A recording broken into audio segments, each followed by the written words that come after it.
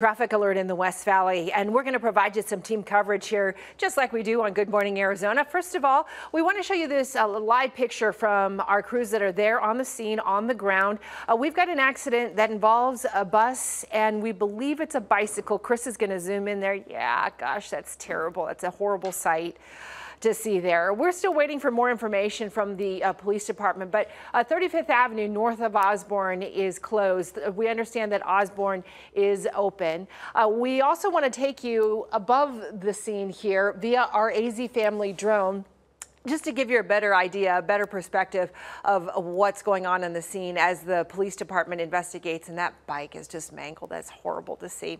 Uh, we understand that they brought in another city bus to transport the folks who are on the uh, first bus here and uh, get them on their way. But in the meantime,